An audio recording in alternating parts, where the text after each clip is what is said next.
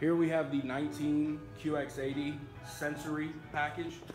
This QX80 is dressed in mineral black, which is a very unique black color. This vehicle comes equipped with chrome wheels and chrome body side molding, power third row seat, and has a very elegant ride and feel coming down the road.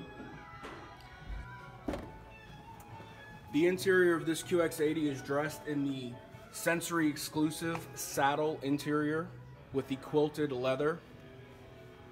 This vehicle also has the black wood trim.